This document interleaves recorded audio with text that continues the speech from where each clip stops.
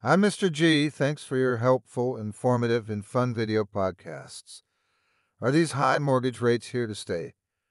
I'm thinking of downsizing with all the children out of the house, thank God.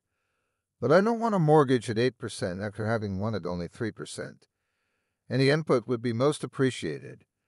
Thanks again for all your hard work.